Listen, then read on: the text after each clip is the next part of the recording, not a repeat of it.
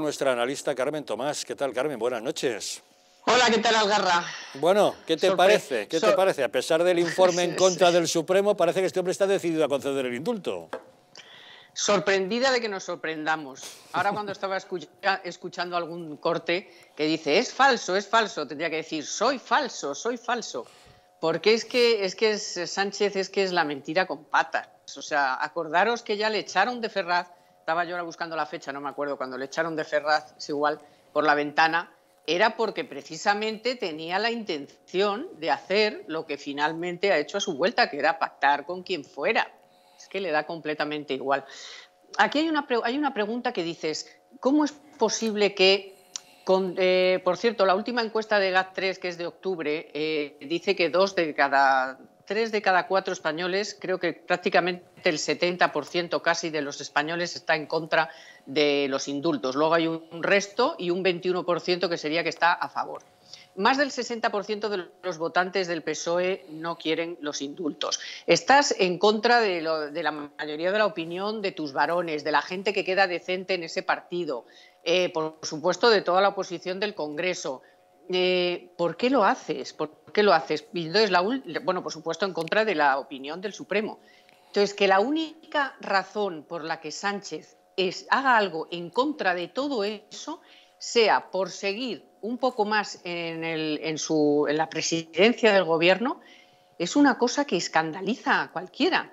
Eh, además, tampoco creo yo que tenga tan seguro eh, que le vayan a apoyar eh, en todas y cada una de sus decisiones, porque ya le están diciendo que, bueno, sí, nos das el indulto fenomenal, pero nosotros en realidad lo que queremos es la amnistía, el referéndum, la independencia, y ellos van a seguir con esa matraca, es decir, que hasta qué punto, hasta dónde va a seguir llegando, porque no creo que con eso sea suficiente. Entonces es capaz de vender su alma al diablo por seguir un poco más ahí y, bueno, y ahí están las cifras, los datos y todo lo que os he dicho. O sea, es que es en contra de, de toda, vamos, iba a decir de la humanidad, pero de, vamos, de, y lo primero del sentido común, porque dice, son unos tíos que te están diciendo que lo van a repetir, que quieren la, la amnistía y que quieren el referéndum y, tú te crees que dándoles algo que es ir en contra de todo, no sé, de verdad, no sé, lo de estar en Moncloa debe ser algo que le pone muchísimo o, no lo entiendo.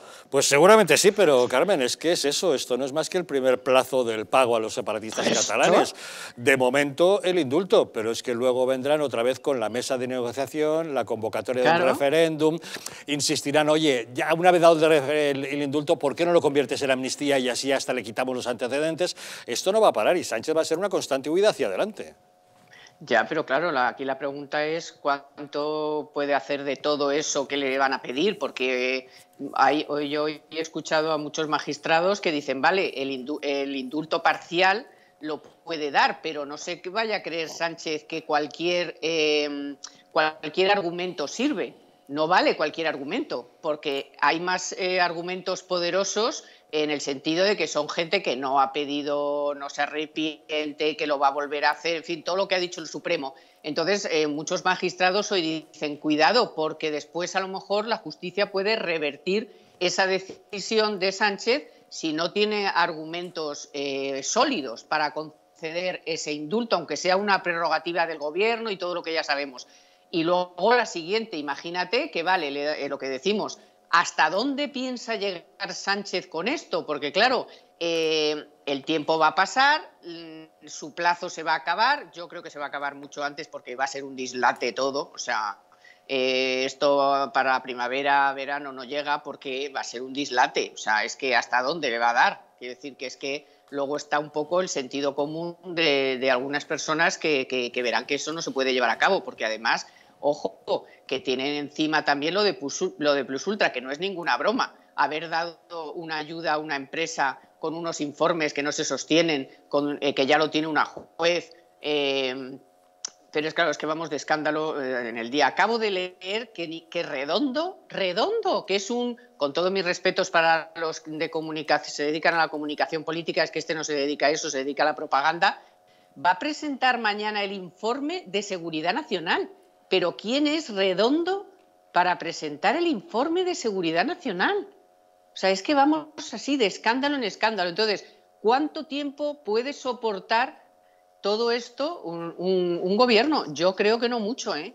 De verdad. Pues ya lo veremos, pero de momento, Carmen, lo que da la impresión es que este hombre está instalado en la Moncloa eh, convencido de que goza de la absoluta impunidad para lo que sea. Ten en cuenta que como cada una de las piruetas que ha hecho le ha salido bien y ahí sigue, pues debe pensar que es inmortal, ¿no?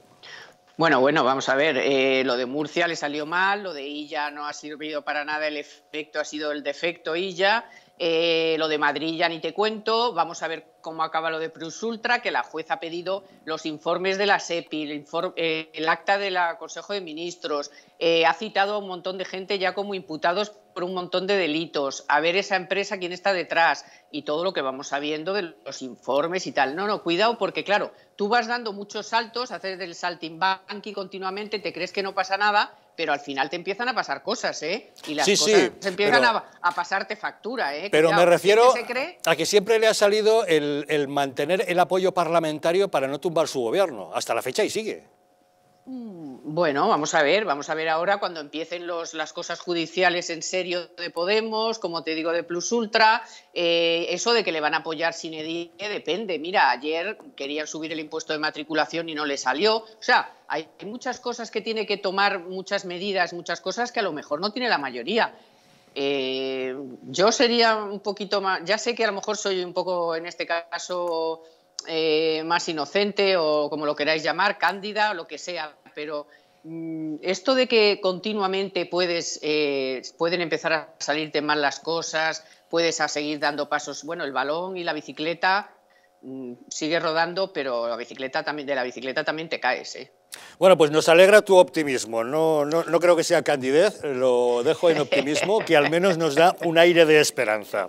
Pero con datos, con datos. Con, datos, por supuesto. lo de Plus Ultra va a ir muy lejos, ya lo verás. Eso seguro que es de uno que está, hombre, mira cómo la secretaria de Estado de Economía salió del ministerio, que eso no le va a eximir de nada, que fue la que firmó que sí y mira lo que ha tardado en irse, pues, madre mía, madre mía, y se han ido cinco del Ministerio de Economía. O sea que cuidado que cuando la justicia coge las cosas ya, mm, y lo bueno, y también va adelante lo de a lo mejor ahora resulta que se tiene que ir por la tesis doctoral, ¿te imaginas? Fíjate. ir por la tesis doctoral ahora.